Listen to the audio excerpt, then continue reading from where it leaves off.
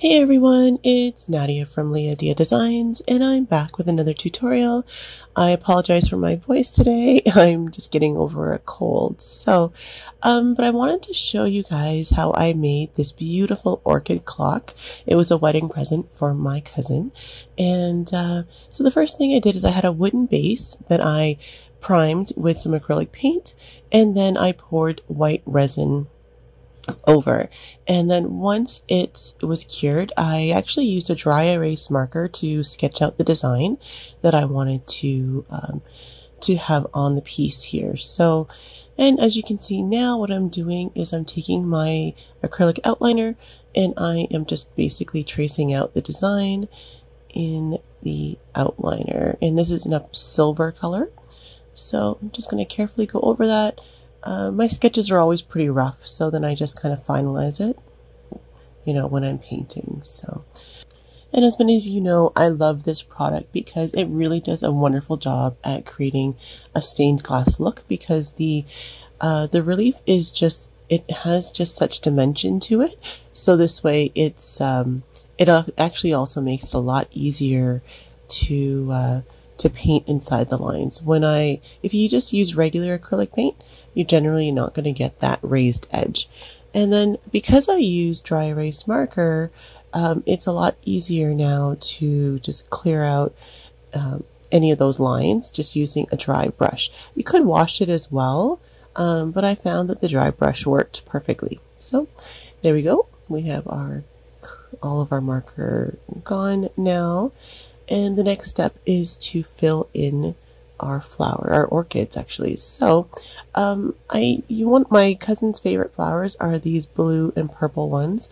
So it was actually her wedding flower. So I really wanted to, um, you know, capture the vibrancy of those colors uh, on this clock. So I ended up mixing. Just if you've been watching me for a while, you know this mixture. I just use uh, gloss varnish and I mix my colors with different mica powders and things like that to get the colors that I want. So here I wanted to have kind of that dark purple and then that kind of more of a magenta purple and then a light blue.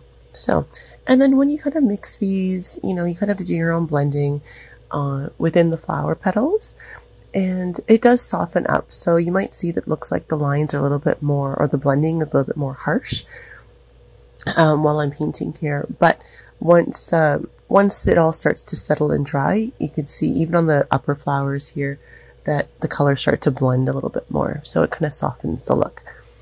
You could use other options for colors here as well. You could use uh, stained glass paints by uh, Pebeo has them. You could also use pigment uh, dyes or uh, for those of you who like alcohol inks, that's a possibility too. I don't use them, so I don't know how well they'd work here. I really like the pearlescent look of um, of the mica powders with uh, with the gloss varnish in these um, for these designs. So I do have another video that does show other painting options. Um, I'll try to remember to link it in the description below. As well, if you're looking for you know, um, other videos of mine that have this uh, similar techniques, um, uh, but maybe have a more involved uh, kind of tutorial. I'll try to link a couple of those below as well. as well, sorry.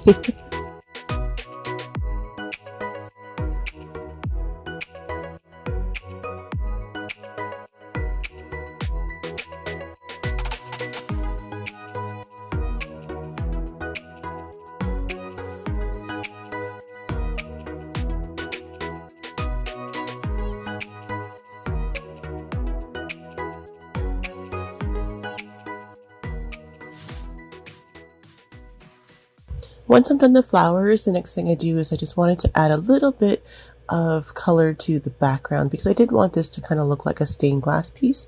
So I do have those lines in the background that kind of show like they're pieces of, um, you know, different fragments of glass. And I just like to add a little bit of color in the back there, but subtle. So obviously our flowers are still our main focus.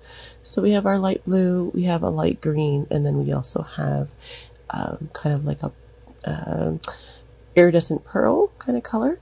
And I added some glitter in the center uh, just because I wanted to have a little bit of extra, um, just something different in the middle once the dial goes on. So once that's all nice and dry, uh, it probably takes about six or eight hours. I probably left it overnight. Then you can go ahead and add the top coat of resin in here. I just, I wanted to go really slowly because there's a lot of details here uh, to make sure that we, the resin gets into. So I just want to go really slowly and add it as needed in different areas. And I typically do two top coats for my clocks. Um, so, but you can choose if one or two is enough. So, so once I'd finished that, I oh, I didn't mention, I also had painted the sides. I don't know if you could see them. You might see it later on in the video.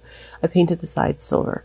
So once this is all done, then I'm able to just kind of use a torch and quickly get rid of any micro bubbles. And then I'll let that cure overnight. And I'll get a little shot here of how this looks right after the resin was poured on it. It's looking pretty nice already. Just love how the colors just pop just looks amazing. So, and then we'll just quickly go through the last bits of assembling the clock, just adding the hands, and then we are all done. I hope you guys enjoyed this video. Again, I apologize for my voice. I hope to be better next week, and I will see you then. Take care. Thank you so much. Um, don't forget to subscribe and share and comment. And